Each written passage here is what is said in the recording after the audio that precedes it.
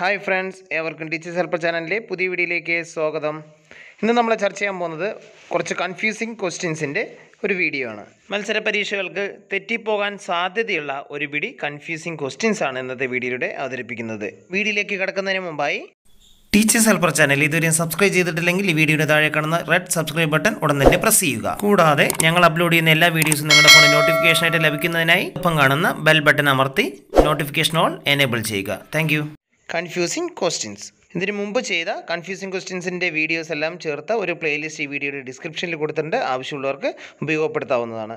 ഇനി നമുക്ക് വീഡിയോയിലേക്ക് കിടക്കാം. ആദ്യത്തെ ചോദ്യത്തിലേക്ക് കടക്കാം. ചോദ്യം ഇങ്ങനെയാണ്. രക്താർബുദ ചികിത്സയ്ക്കുള്ള വിൻകിൻസ്റ്റിൻ വേർതിരിച്ചെടുക്കുന്ന സസ്യം ഏതാണ്? രക്താർബുദ ചികിത്സയ്ക്കുള്ള വിൻകിൻസ്റ്റിൻ വേർതിരിച്ചെടുക്കുന്ന സസ്യം ഏതാണ്? ഉത്തരം ശവന്നാറി. ശവന്നാറിയിൽ നിന്നാണ് രക്താർബുദ ചികിത്സയ്ക്കുള്ള വിൻകിൻസ്റ്റിൻ വേർതിരിച്ചെടുക്കുന്നത്. മനസ്സിലായല്ലോ? ഇനി അടുത്ത ചോദ്യം നോക്കൂ. മലേറിയ ചികിത്സയ്ക്കുള്ള ക്വിനിൻ വേർതിരിച്ചെടുക്കുന്ന സസ്യം ഏതാണ്? സിങ് മലേറിയ ചികിത്സയ്ക്കുള്ള ക്വിനിൻ വേർതിരിച്ചെടുക്കുന്ന സസ്യം ഏതാണ്? Q C സിങ്കോണയാണ്. സിങ്കോണയിൽ നിന്നാണ് മലേറിയ ചികിത്സയ്ക്കുള്ള ക്യുനിൻ വേർതിരിച്ചെടുക്കുന്നത്. രക്താർബുദ ചികിത്സയ്ക്കുള്ള വിൻകോസ്റ്റിൻ വേർതിരിച്ചെടുക്കുന്ന അവിടെ നിന്നാണ് ശവന്നാറിയിൽ നിന്ന് ശവന്നാറിയിൽ നിന്നും വിൻകിൻസ്റ്റിനും അതുപോലെ തന്നെ സിങ്കോണയിൽ നിന്നും ക്വിനിനും വേർതിരിച്ചെടുക്കുന്നു. ഓക്കെ ഇനി നമുക്ക് അടുത്ത ചോദ്യം എന്താണെന്ന് നോക്കാം. അടുത്ത ഭാഗം ഇങ്ങനെയാണ്.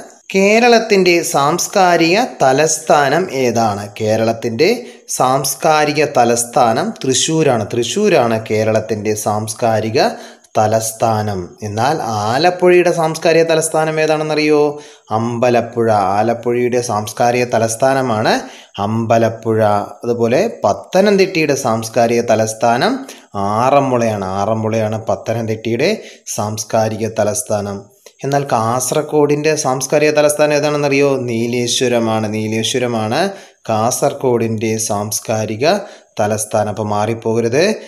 കേരളത്തിന്റെ സാംസ്കാരിക തലസ്ഥാനം തൃശ്ശൂരാണ്. ആലപ്പുഴയുടെ സാംസ്കാരിക തലസ്ഥാനം അമ്പലപ്പുഴയാണ്.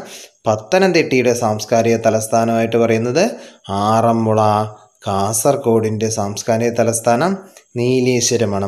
മനസ്സിലായല്ലോ? ഇനി നമുക്ക് അടുത്ത ഭാഗം നോക്കാം. മാറിപ്പോകാതെ ശ്രദ്ധയോടെ പഠിക്കേണ്ടതാണ്. ഓക്കെ. പുലയ മഹാസഭ. അപ്പോൾ സ്ഥാപകൻ ആരാണെന്നറിയോ അയ്യങ്കാളി. അയ്യങ്കാളിയാണ് പുലയ മഹാസഭയുടെ സ്ഥാപകൻ. ആരാണ്? പുലയ മഹാസഭയുടെ സ്ഥാപകൻ ആരാണ്? അയ്യങ്കാളിയാണ്. അയ്യങ്കാളിയാണ് പുലയ മഹാസഭയുടെ സ്ഥാപകൻ. മാറിപ്പോകരുത്. അതുപോലെ തന്നെ കേരള പുലയ മഹാസഭ. കേരള പുലയ മഹാസഭയുടെ സ്ഥാപകൻ പി കെ ചാത്തൻ മാസ്റ്ററാണ്. പി കെ ചാത്തൻ മാസ്റ്ററാണ്. കേരള പുലയ മഹാസഭയുടെ സ്ഥാപകൻ. അതുപോലെ ഹിന്ദു പുലയ സമാജം. ഹിന്ദു പുലയ സമാജം ആരാണ്? കുറുമ്പൻ ദൈവത്താൻ. കുറുമ്പൻ ദൈവത്താനാണ് ഹിന്ദു പുലയ സമാജം. അതുപോലെ നോക്കൂ കൊച്ചിൻ പുലയ മഹാസഭ ഏതാണെന്നറിയോ? ആരാണെന്നറിയോ? പണ്ഡിറ്റ് കുറുപ്പാണ്. പണ്ഡിറ്റ് കുറുപ്പാണ് കൊച്ചിൻ പുലയ മഹാസഭ. നോക്കൂ Pulaya Mahasabha അയ്യങ്കാളിയാണ് Kerala Pulaya Mahasabha P K Chathan master. Hindu Pulaya Samajam Kurumban Daivathan. Cochin Pulaya Mahasabha Pandit കുറുപ്പനാണ്. Pandit കുറുപ്പനാണ് കൊച്ചിൻ പുലിയ മഹാസഭ. പരസ്പരം മാറിപ്പോകാൻ സാധ്യതയുള്ള കുറച്ച് ഭാഗമാണത്. അതുകൊണ്ട് ഓർത്ത് വെക്കുക. ഓക്കെ? മറന്നു പോകരുത് എഴുതി തന്നെ പഠിച്ചോളൂ. ഇനി അടുത്ത ഭാഗം നോക്കൂ. ഈഴവ സമാജം സ്ഥാപിച്ചത് ആരാണ് ഈഴവ സമാജം സ്ഥാപിച്ചത് പി കെ മാധവനാണ്. ഈഴവ സമാജം സ്ഥാപിച്ചത് ആരാണ് പി കെ മാധവൻ. എന്നാൽ ഈഴവ മെമ്മോറിയൽ ആരാണ് സ്ഥാപിച്ചതെന്നറിയോ? ഡോക്ടർ പൽപ്പു ആണ് ഈഴവ മെമ്മോറിയൽ ഡോക്ടർ പൽപ്പു ആണ് ഈഴവ സമാജം പി കെ മാധവനാണ്. Malayali മെമ്മോറിയലോ? G P Pillai. Ezhava memorial doctor Palpu Malayali memorial G P പിള്ളയാണ്. നോക്കൂ ഈഴവ മഹാസമാജം ആരാണ് സ്ഥാപിച്ചത്? പി കെ മാധവനാണ് ഈഴവ മെമ്മോറിയൽ സ്ഥാപിച്ചത്. ഡോക്ടർ പൽപ്പു ആണ് മലയാളി മെമ്മോറിയൽ സ്ഥാപിച്ചത്. ജി പി പിള്ളയാണ് ജി പി പിള്ള. ഇനി അടുത്ത ഭാഗം നോക്കാം. അടുത്ത ചോദ്യം ഇങ്ങനെയാണ്. സ്വദേശാഭിമാനി പത്രത്തിന്റെ സ്ഥാപകൻ ആരാണ് സ്വദേശാഭിമാനി പത്രത്തിന്റെ സ്ഥാപകൻ വക്കം അബ്ദുൽ ഖാദർ മൗലവി അഞ്ചുതെങ്ങ്. ആരാണ്? വക്കം അബ്ദുൽ ഖാദർ മൗലവി അഞ്ചുതിങ്ങാണ് സ്വദേശാഭിമാനി പത്രത്തിന്റെ സ്ഥാപകൻ. ആരാണ് സ്വദേശാഭിമാനി പത്രത്തിന്റെ സ്ഥാപകൻ? വക്കം അബ്ദുൽ ഖാദർ മൗലവി അഞ്ചുതെങ്ങാണ്. എന്നാൽ സ്വദേശാഭിമാനി പത്രത്തിന്റെ ആദ്യ editor ആരാണെന്നറിയോ? C P Govindapillai. C P ഗോവിന്ദപിള്ളയാണ് Swadeshabhimani പത്രത്തിന്റെ ആദ്യത്തെ എഡിറ്റർ. ആദ്യത്തെ എഡിറ്റർ സ്വദേശാഭിമാനി പത്രത്തിന്റെ ഇപ്പോഴത്തെ എഡിറ്റർ ആരാണെന്നറിയോ? കെ രാമകൃഷ്ണപിള്ള. കെ രാമകൃഷ്ണപിള്ളയാണ് സ്വദേശാഭിമാനി പത്രത്തിന്റെ എഡിറ്റർ. ഓക്കെ? അപ്പോൾ സ്വദേശാഭിമാനി പത്രത്തിന്റെ സ്ഥാപകൻ വക്കം അബ്ദുൽ ഖാദർ മൗലവി അഞ്ചുതെങ്ങാണ്? ഇനി നോക്കുക അടുത്ത ചോദ്യം. ധർമ്മപോഷിണി. ധർമ്മപോഷിണി പത്രം സ്ഥാപിച്ചത് വേലിക്കുട്ടി അരയൻ. വേലിക്കുട്ടി അരയനാണ് ധർമ്മപോഷിണി പത്രം സ്ഥാപിച്ചത്. ആരാണ് ധർമ്മപോഷിണി പത്രം സ്ഥാപിച്ചത്? വേലുക്കുട്ടി അരയനാണ്. എന്നാൽ ധർമ്മപോഷിണി സഭ സ്ഥാപിച്ചത് വക്കം അബ്ദുൽ ഖാദർ മൗലവിയാണ്. വക്കം അബ്ദുൽ ഖാദർ മൗലവിയാണ് ധർമ്മപോഷിണി സഭ സ്ഥാപിച്ചത്. ധർമ്മഭൂഷണി പത്രം സ്ഥാപിച്ചത് ആരാണെന്നാ പറഞ്ഞേ? വേലുക്കുട്ടി അരയൻ. വേലുക്കുട്ടി അരയനാണ് ധർമ്മഭൂഷണി പത്രം സ്ഥാപിച്ചത്. ധർമ്മഭൂഷണി സഭ വക്കം അബ്ദുൽ ഖാദർ മൗലവിയാണ്. വക്കം അബ്ദുൽ ഖാദർ മൗലവി. മാറിപ്പോകരുത് കേട്ടോ. ഇനി നോക്കൂ അടുത്ത ഭാഗം നോക്കാം നമുക്ക്. അടുത്ത ഭാഗത്ത് ഇങ്ങനെയാണ് ചോദ്യം വരുന്നത്. പന്തിഭോജനം. പന്തിഭോജനം ആരാണെന്നറിയോ? തൈക്കാട് അയ്യ പന്തിഭോജനം നടപ്പിലാക്കിയത് തൈക്കാട് അയ്യാണ് പന്തിഭോജനം. എന്നാൽ സമപന്തി സമപന്തി ഭോജനം ആരാണെന്നറിയാം? വൈകുണ്ഠസ്വാമിയാണ്. സമപന്തി ഭോജനം പന്തി ഭോജനം തൈക്കാടയ്യ. സമപന്തി ഭോജനം വൈകുണ്ഠസ്വാമി. അതുപോലെ മിശ്രഭോജനമുണ്ട്. മിശ്രഭോജനം സഹോദരൻ അയ്യപ്പനാണ്. സഹോദരൻ അയ്യപ്പനാണ്. മിശ്രഭോജനം. ഇനി പ്രീതി ഭോജനം സ്ഥാപന പ്രീതി പ്രീതി ഭോജനം നടപ്പാക്കിയത് ആരാണെന്നറിയോ വാഗ്ബടാനന്ദൻ വാഗ്ബടാനന്ദനാണ് പ്രീതി ഭോജനം നോക്കൂ പന്തിഭോജനം തൈക്കാടയ്യ സമപന്തിഭോജനം വൈകുണ്ഠസ്വാമി.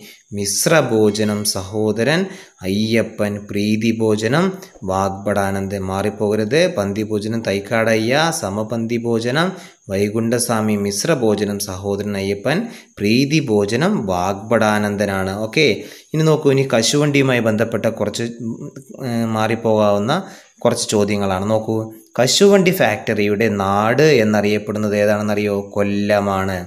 കൊല്ലമാണ് കശുവണ്ടി ഫാക്ടറികളുടെ നാട് എന്ന പേരിൽ അറിയപ്പെടുന്നു. ഏറ്റവും കൂടുതൽ കശുവണ്ടി ഫാക്ടറികളുള്ളത് കൊല്ലത്താണ്. കൊല്ലത്താണ് ഏറ്റവും കൂടുതൽ കശുവണ്ടി ഫാക്ടറികളുള്ളത്. അതുകൊണ്ടാണ് കശുവണ്ടി ഫാക്ടറികളുടെ നാട് എന്ന് അറിയപ്പെടുന്നത്. എന്നാൽ കശുവണ്ടിയുടെ നാട് എന്ന് ചോദിച്ചാൽ എന്താ പറയുക? കണ്ണൂരാണ്. കണ്ണൂരാണ് കശുവണ്ടിയുടെ നാട്. കശുവണ്ടി ഫാക്ടറിയുടെ നാട് കൊല്ലമാണ്. കൊല്ലത്ത് ഏറ്റവും കൂടുതൽ കശുവണ്ടി ഉൽപ്പാദിപ്പിക്കുന്നുണ്ട്. കശുവണ്ടി ഫാക്ടറിയുടെ നാട് കൊല്ലം കശുവണ്ടിയുടെ നാട് കണ്ണൂരാണ്. കണ്ണൂരാണ് ഏറ്റവും കൂടുതൽ കശുവണ്ടി ഉൽപ്പാദിപ്പിക്കുന്ന ജില്ല. അതുകൊണ്ടാണ് കശുവണ്ടിയുടെ നാട് കണ്ണൂരാണെന്ന് പറയുന്നത്. അതുപോലെ കശുവണ്ടി ഗവേഷണ കേന്ദ്രം എവിടെയാണെന്നറിയോ? ആനക്കയമാണ്. ആനക്കയമാണ് കശുവണ്ടി ഗവേഷണ കേന്ദ്രം. മാറിപ്പോകരുത്.